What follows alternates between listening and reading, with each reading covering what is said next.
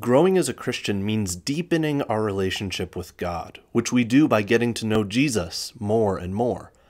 But when we meditate on who Jesus is, we are immediately confronted by our own inadequacy. Next to the holiness of God, what do I do with the sin that remains in me even after I'm saved? In this video, we're going to discuss the topic of sin and repentance with the help of Chapter 2 of Deeper by Dane Ortlund. This chapter is called Despair. By calling this chapter Despair, Ortlund is trying to help us see that it is a healthy necessity for a Christian to have self despair. He writes on page 38 Fallen human beings enter into joy only through the door of despair. Fullness can only be had through emptiness. This happens decisively at conversion as we confess our hopelessly sinful predicament for the first time and collapse into the arms of Jesus, and then remains an ongoing rhythm throughout the Christian life. So, we're not talking about despair as an emotion right now. We're talking about despair as having no doubts that everything in our lives depends on the grace of God. It's coming to the end of yourself, because when you gaze at the perfection of God, you see all of your own imperfections and limitations. Ortlund calls it the supreme contrast, when we have such a big view of God that we see how small and sinful we are. Now, we're not saying that the primary identity of Christians is sinner. No, there is no condemnation for those who are in Christ Jesus. No matter what indwelling sin remains in us, believers are in Christ. And so the next chapters of the book will explore what that means. But what we are saying now is that Christians cannot grow themselves. We cannot grow as Christians if we have naive pride about our own spiritual abilities or maturity. Now, sure, you might be quick to admit that you're not perfect, that you still sin, but how often have you tried to cling to your spiritual independence? Most of us don't like to ask for help, especially when it comes to spiritual things. We subtly think, Jesus, thank you for getting me out of the pit and getting me into heaven. But while I'm still living, I've mostly got this. I think I can do this whole following Jesus thing, maybe maybe with a little help from you. Now we never say that out loud. But many of us have locked God out of certain areas of our lives. Let me ask you this. Why do you sometimes go an entire day without praying or even thinking much at all about God? It's because a part of us still believes that we can live life on our own strength. Ortlund writes Christian growth is, among other things, growing in sensing just how impoverished and powerless we are in our own strength. That is, just how hollow and futile our efforts to grow spiritually are on our own steam. Later, he puts it even more strongly you cannot feel the weight of your sinfulness strongly enough. So I want you to hear this warning clearly. You cannot grow very much in your relationship with Jesus if you will not let yourself be humbled continually. Morality, if it doesn't have deep humility, is just as dangerous to your faith as immorality. Jesus said that whoever would save his life will lose it, but whoever loses his life for Jesus' sake will find it. Death is the great prerequisite to life. So if you feel stuck in your Christian walk, if you feel defeated by old sin patterns, if you've given up hope for being or becoming holier and wiser, if your discipleship journey with Jesus just feels boring, then let that emptiness take you down. Come again to Jesus, poor in spirit, asking for forgiveness for your arrogance.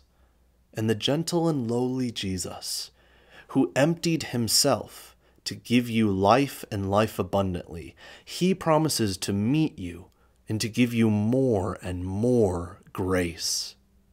I had a mentor once who said that every person who wants to grow in their faith needs to walk through three rooms. You can think of them as steps along the path to Christian maturity.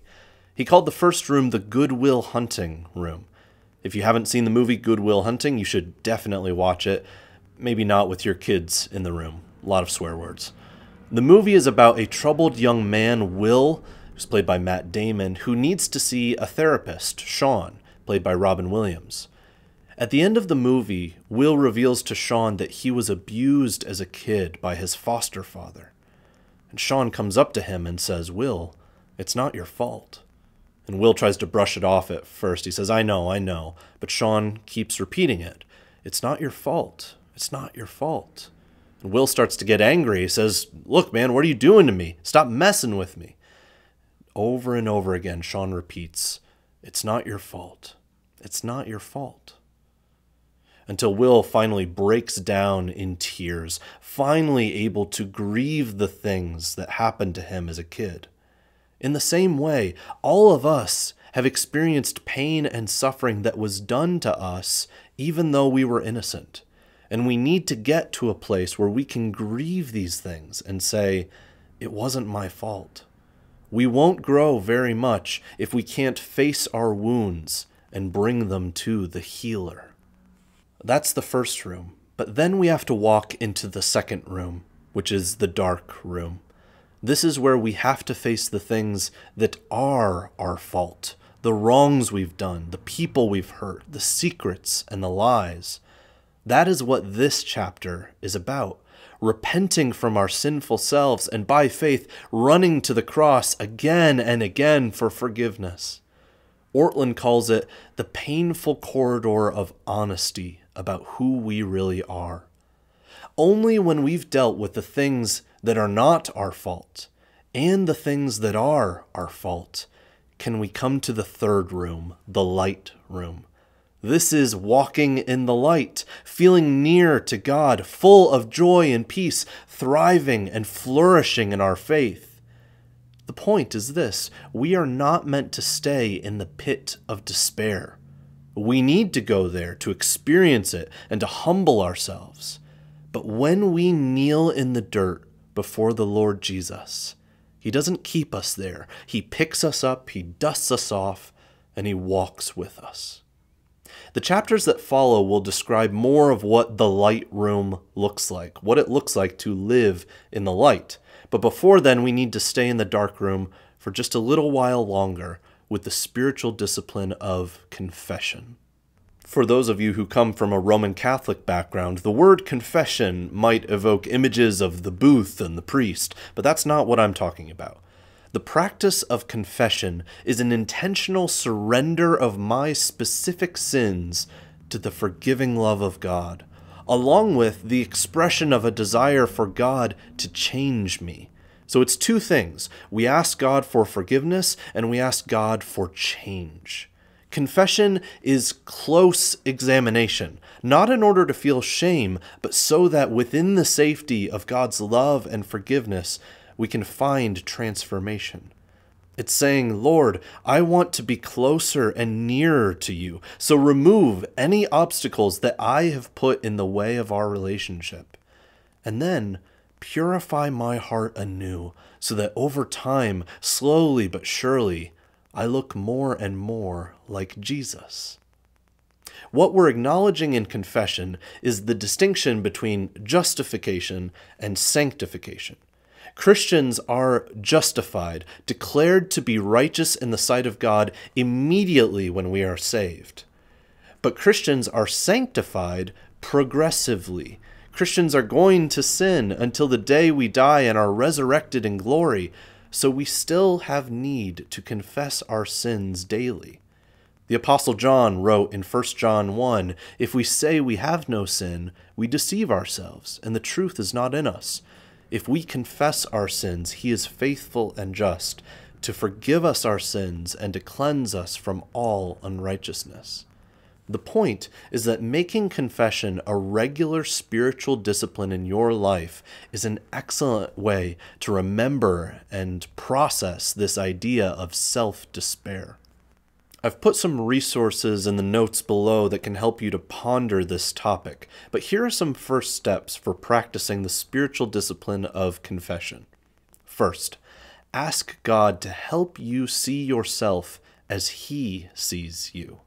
This means both that you would know deep in your soul how much He loves you, and also that He would show you the areas in which you need to be transformed. Now, this can be a difficult thing to ask, but it's necessary because God is the one who knows your heart best. He made you, after all. This is the basic idea of Psalm 139, and the last verses of the psalm are a good place to start.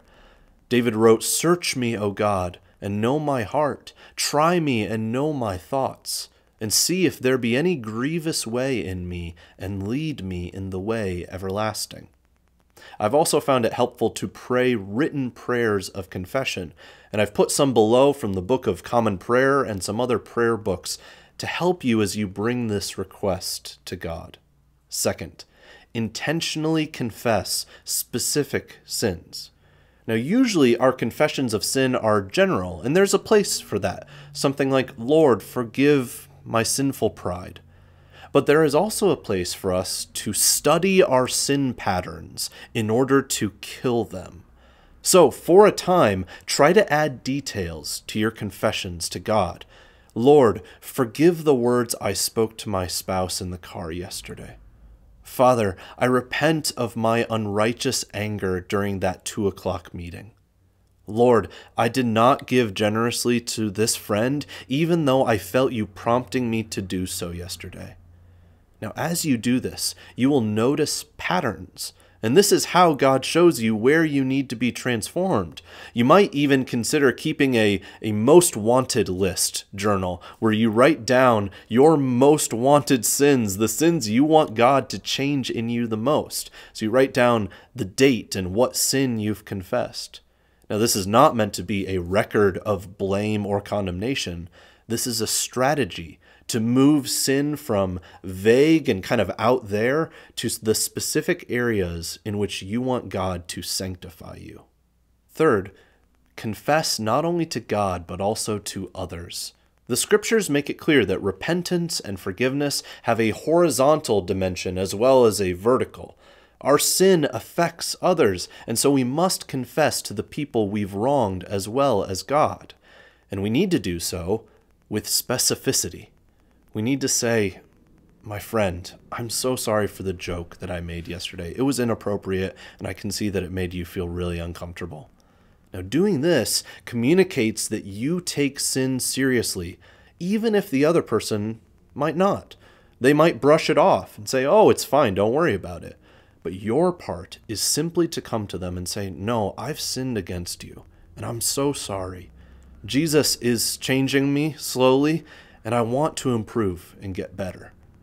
Now, if you make this a habit with your spouse, with your kids, with your friends, your coworkers, even with strangers that you've wronged, it will be awkward at first, but it will also show them that you want to grow in your discipleship. As we come to the end of this video, take a moment and answer this question What are specific sins that I must confess to God right now? What are the areas in my life in which I feel like I've got this on my own? I don't really need God here. What is preventing you from walking into the goodwill hunting room where it's not your fault and you reckon with the things that were done to you? And then, what is keeping you from walking into the dark room? What might happen in your life if you made confession of sin a regular practice and discipline? As usual, I'm going to close this video by praying for you. Will you pray with me right now? Father, David prayed that you would create in him a clean heart and renew a right spirit within him. We pray the same for ourselves. Help us to see ourselves like you see us, as your children whom you love, and as your disciples whom you want to transform. Jesus, thank you for your forgiveness. We long for the day when we need to despair no more, because you will make all things new. We pray this in the name of Jesus. Amen.